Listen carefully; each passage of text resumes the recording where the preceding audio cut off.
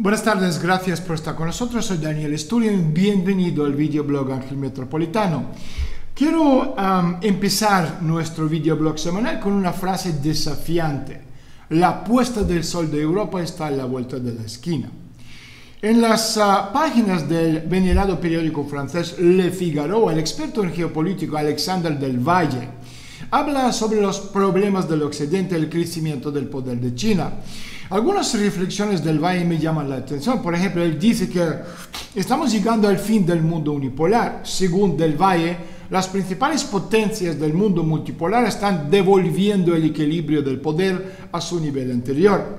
Su reflexión sobre los ganadores o benefactores principales de la globalización también es muy interesante. La nueva globalización, dice Valle, dominada por China y Asia, se ha vuelto contra sus creadores anglosajones. La lectura globalista anterior ya no es convincente para la China nacional maoísta, ni para Rusia nacional ortodoxa, ni tampoco para Turquía nacional islamista. El declive de Europa está a la vuelta de la esquina, una Europa dos soberano, un objeto geopolítico no identificado que cree en una interpretación anti-identificación de la globalización, se está convirtiendo en un carnero sacrificado mundial, un chivo expiatorio voluntario que se entrega para el sacrificio. Porque la globalización es un escenario de hipercompetencia entre potencias, las más fuertes de las cuales salen hábilmente de las situaciones muy difíciles. Otra característica de la posición de Europa según Valle, Europa tiene solo dos soluciones estratégicas para la supervivencia o volverá a convertirse en la Europa de las naciones soberanas por la que defendió el general de Gaulle, plan de Fouché, o Europa se convirtiera en una verdadera potencia soberana. Pero en ambos casos el eslabón de conexión debería ser la identidad europea y es precisamente la Unión Europea la que lo niega.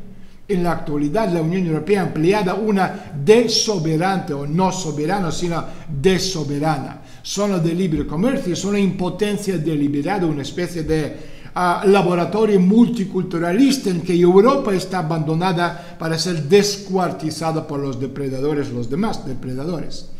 Fíjense que Alejandro del Valle no dice que la principal razón del declive de Europa sea su rechazo a los valores cristianos, porque sobre ellos se construye la identidad europea. Evidentemente no se puede crear una identidad sobre la base de los valores de descomposición y el rechazo de la familia tradicional. También hablando, bueno, un poquito del mundo post-globalización o post-globalismo, COVID, COVID, COVID, COVID redujo a cero la globalización. La pandemia COVID-19 fue la primera, digamos, gran conmoción en 75 años desde la época post-Segunda Guerra Mundial y tiene un alcance global y se ha convertido en una frontera para reagrupar fuerzas. Fíjense que ante la pandemia estaba el uso, la imagen de la estructura derrumbada del capitalismo mundial. Los acontecimientos de los últimos un año y medio han demostrado que la globalización se puede apagar, bueno, literalmente en dos semanas, como lo han hecho la élite en marzo del año 2020, cuando los países cerraron sus fronteras.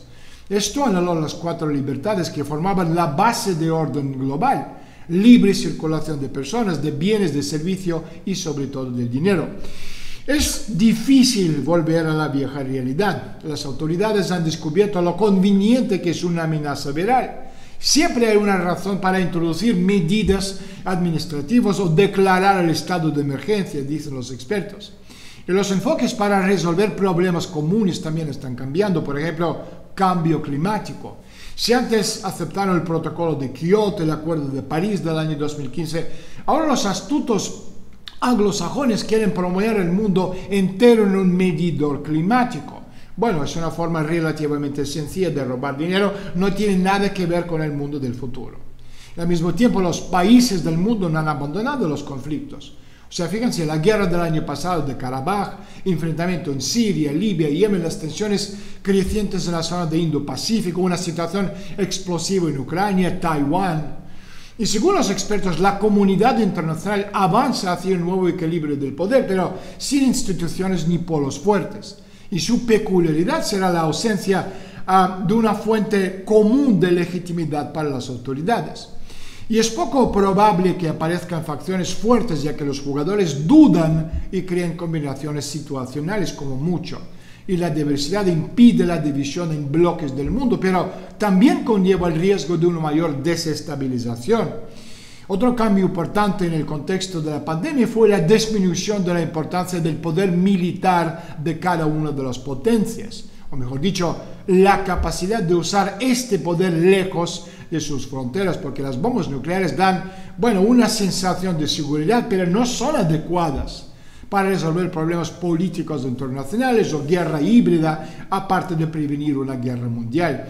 Y el hecho de que Rusia, Estados Unidos o China tengan el mayor arsenal de armas de todos los países, de toda la historia de la humanidad, no los hace más fuertes en la lucha constante por los recursos, pero deja la oportunidad de destruirse a sí mismos y a los demás en caso de una verdadera amenaza.